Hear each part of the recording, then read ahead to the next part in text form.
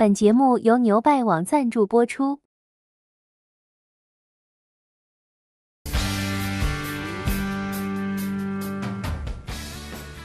欢迎收听今日话题的节目。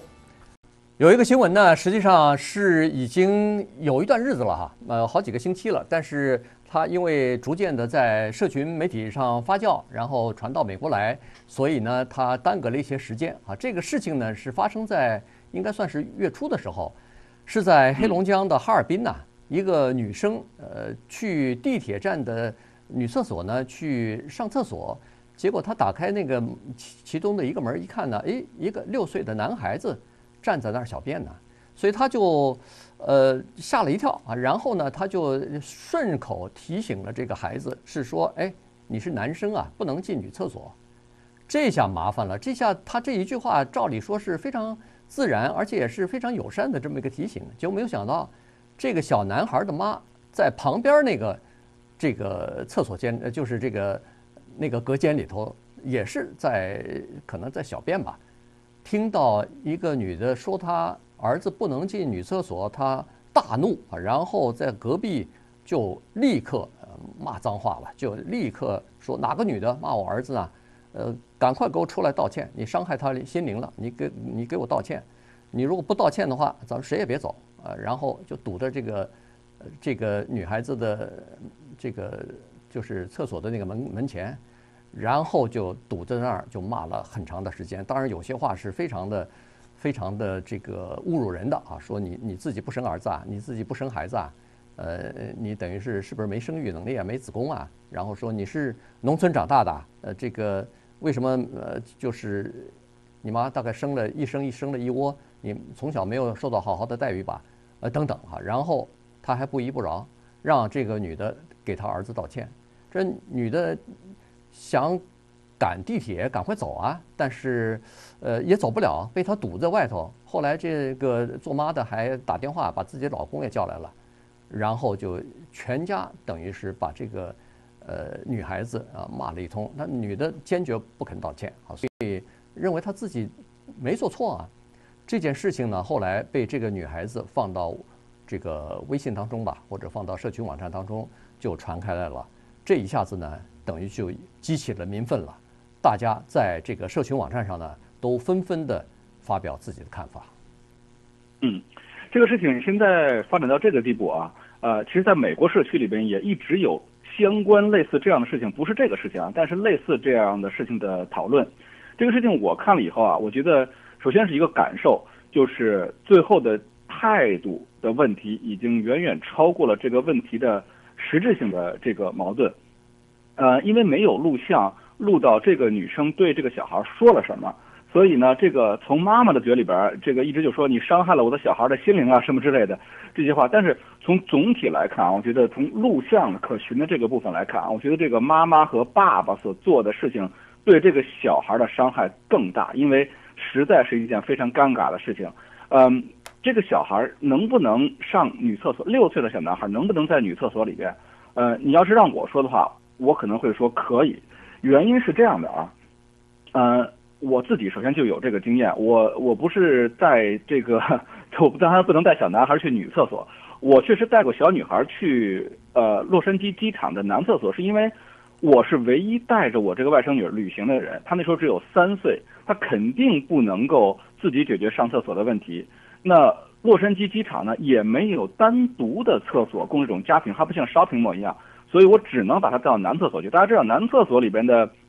小便池呢，它那个隔间其实是非常短的，呃，也不是像女厕所那种整体的，所以对于我来说，我没有什么别的选择。但是我觉得我能做到的呢，是我保证把它放到一个单独的格子间里边，然后我在外面等着它。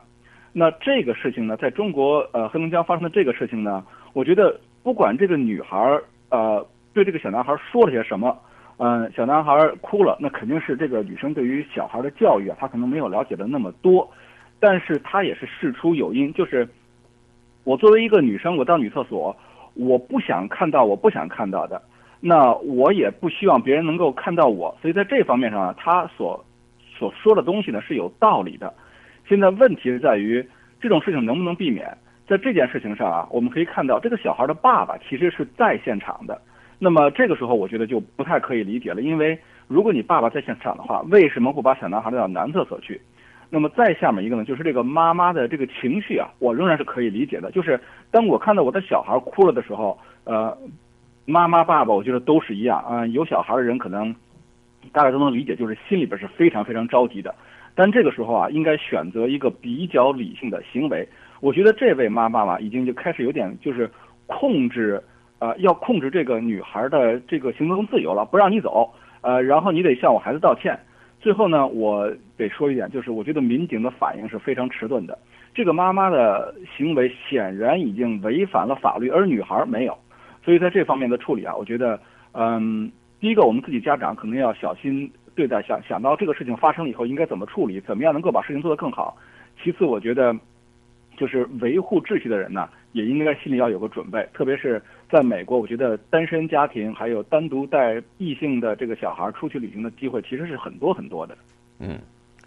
呃，在这个这个事情呢，它是这样子哈，就是说，呃，它是分两部分。第一部分就是母亲到底能不能带这个小孩子，比如说呃六，他这个是六岁哈，小孩儿去呃女厕所去。这个呢，如果要是孩子再小一点儿，如果几个月两三岁的时候带进去，相信没有什么人有任何的疑问啊。这个孩子特别小，如果要是让他一个人去。他就比如说男男孩男孩子吧，呃，让他一个人去男厕所的话，一个两三岁的孩子恐怕是没有办法自己去，不管是大便还是小便，大概都没有办法，呃，可以自自己去做这件事情哈。但是六岁的孩子已经去痛，已经去这个，可能早一点的话都上小学一年级了。那么如果六岁的孩子的话，难道？如果他爸爸在，当然就应该他爸领着去哈。如果他爸爸不在的话，那么六岁的孩子是不是应该，也应该自己可以去这个男厕所了呢？如果你做妈妈的不放心，你可以站在门男厕所的门口等着。当正常的上厕所的时间过了以后，孩子还没出来，那你可以敲敲门，可以问一下里边出来的人，哎，我孩子在，你见到了没有？什么？呃，因因为在中国大陆呢，这个。呃，如果父母亲在这个厕所门口，孩子被被比如说羞辱啊，或者被性侵犯的这个可能性还是比较小的啊。这个在美国呢，这方面的情况我们听的报道可能稍微有点害怕，但实际上说实话，如果父母亲就在这个厕所门口等的话，应该不会发生这样的事情哈。再加上这个，你如果进去了以后，你必须要考虑到这个。别人是放弃了自己的隐私，给你方便的，你不是理所当然就应该认为说这个男孩子是可以，呃，这个横冲直撞是可以进入到女厕所的，其实是不应该的哈。所以，但是呢，在这里头就可以看得出来，这母亲基本上就是以我为中心吧，就是说你们都应该为我的方便，你们都应该为我的利益来让我，呃，来让开我。这个就有问题了哈，这个关键人们气的是他后来的这个态度，也就是说，你本来带孩子来是别人，就是呃忍让你啊，我牺牲我一部分的这个呃隐私权，我让你的孩子进来，呃也也也就算了，但是啊，他反而觉得你是应该让我的，而且他在讲话当中他说他自己也说了，他他就说谁谁说的男孩子不能进进女厕所。这话就有点霸道了，这话就有点，就等于是不讲道理，或者是胡搅蛮缠了嘛。嗯，我觉得最起码这个妈妈可以做到的就是，当小孩进入到这个格子间里边去上厕所的时候，妈妈最起码应该在外面守着，告诉别人，哎，我小孩在里边，或者要叮嘱小孩把门锁好。你出来的时候呢，你戴个帽子，低着头离开了，我相信都不会引起任何问题。对，嗯，我们在出去旅游的时候也要考虑到，就是我们。不要认为有些事情是理所当然的，要考虑到别人在这方面的感受。嗯，没错。所以其实这个事情关键就是后面的处理。如果你说是带一个孩子去，呃，比如说单身的母亲出去，确实不方便啊。你带一个儿子，尤其呃，就是呃和这个母亲不是同一个性别的，这个确实是不方便。或者父亲带一个女儿，确实是不方便哈。所以呢，人们都可以理解。呃，在不方便的情况之下，在紧急的情况之下。上个这个洗手间，带着这个女孩到男厕所，或带男孩到女厕所，如果孩子还小的话，确实是可以的哈，大家都可以理解。但是碰到这种情况，你这么个应对法儿，那我看网上基本上一面倒全是支持这个女孩子的哈。这个女孩就就说了，六六岁孩子，我我看有的那个网上的那个呃评论就说了一个六六岁女孩子不不会自己上厕所啊，然后又说了他他爸在附近，为什么不让他爸带的孩子去呢？呃，这个家庭这个做法还显然是有问题的。还有人说这个做妈的这个太难看了，这个行为实在是呃不可理喻啊。所以呢，你看基本上都是冲着他的态度问题和他们的做法问题，而不是呃说他应不应该带这个孩子去。另外一点呢，就是家长啊，有的时候对自己呃这个孩子的怎么说呢？要不就是宠爱，要么就是溺爱，要么就是总以为自己的孩子还小呢，总以为自己的孩子还不懂事儿呢。总以为自己的孩子在这个呃性的辨识方面可能还懵懂无知，但实际上，呃很多的科学研究和研究的数据告诉我们说，实际不是这么回事啊。这个孩子在三岁到六岁的时候，实际上他已经处于懵懵懂懂知道性别的差异的这个年龄了，所以他现在这个年龄非常小。你不要以为三岁的孩子什么都不懂，有的时候三岁的孩子、四岁的孩子就就已经开始有点这方面的意识了，知道男孩和女孩之间不一样了，知道在尤尤其是去托儿所的话，去幼儿园的话，他就已经知道这个男同学跟女同学之间是有一些呃区别的。那好，我们先进到广告，广告之后呢，我们再来就这个事情来稍微的分析一下，可以扯开来一点哈，如果。你厕所是一个问题，有的时候孩子就是，尤其在中国大陆哈，比如说，呃，一个父母亲带着自己的儿子或者女儿去游泳，那么，那游完泳以后要冲水，要到这个更衣间里边去，那男孩可以进进到这个女的更衣间去吗？呃，如果中中国大陆那个于浩还有自己亲身经历呢，中国大陆小孩的时候去那个澡堂子去，呃，男孩进到女女澡堂里头。那又是什么情况呢？今日话题，欢迎继续收听今日话题的节目啊！今天跟大家讨论的呢是一个妈妈啊带着六岁的儿子，呃，去这个男厕所引发的一些争议哈。当然，呃，大家主要指的他的态度问题，但实际上呢，从这个问题啊折射出。其他的一些问题来哈，一个是这个教育子女的问题，一个是呃这个对别人的隐私的尊重的问题，然后就是这个这个处理问题的这个态度的问题哈。呃，但是还有一个东西去值得讨论，就是对儿童和这个青少年的性教育的问题。实际上，这个不仅是华人的父母哈，在西方国家，在美国，在世界其他的各国，大概也都有同样的担忧啊，同样的不知所措。就很多的孩子，就很多的父母亲对自己年幼的孩子，比如说五六岁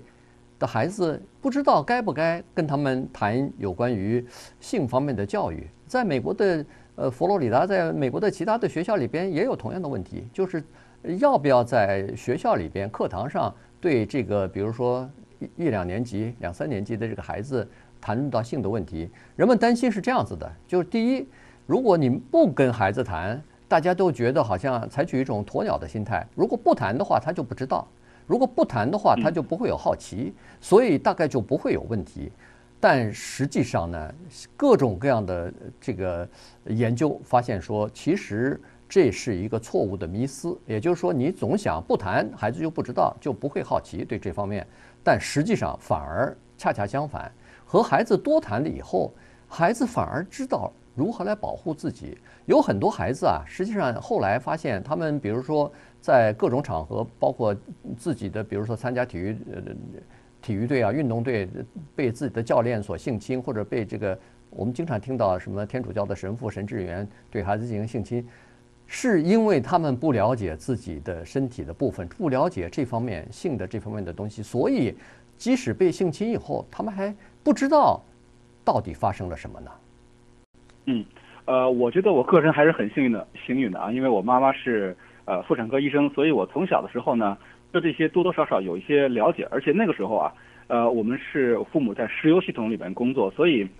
这种单亲的呃带着，比如说像那个时候呃，我爸爸是在钻井队里边，那他肯定是不可能带小孩的。那我那个时候六七岁嘛，那我妈妈就带着我。呃，我给我印象比较深的是，我我后来前上个礼拜我还特意问过我妈妈，我说我你还记得不记得有一次，嗯，你带着我去那个女洗澡堂子去洗澡，我那时候多少岁？我我妈说不记得了，但是那时候我算起来我应该大概是六岁多，应该是，我就印象特别深刻，就是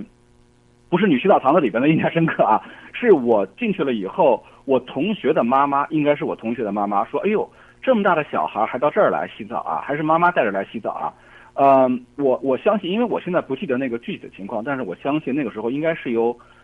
呃，至少有四五个呃这个女性都在那里洗澡，而且你知道中国大陆的那种。那种又是石油油田的这种洗澡的这种情况，其实是非常开放的，就是没有什么任何遮蔽的地方。那这句话给我的印象非常深，我所以我一直记到现在。然后后来我问我妈，后来我洗澡怎么样了，我都不记得了。我妈说，后来呢是我，她把我送到这个男呃浴室去洗澡，但是为什么那个时候就是我妈非常不放心？呃，原因是那个地方的洗澡的条件呢是非常简陋的，这个热水有的时候会非常非常烫，而且。呃，很容易把小孩烫伤，他也没有什么防护的措施啊，保证什么的，呃，所以我觉得考虑到实际的原因，我看到美国呃的评论，这个媒体啊对对方的评论呢，其实是一半一半的，就是说理解妈妈的做法，但是非常不赞成她的态度。有的时候我觉得态度真的是决定了很多东西。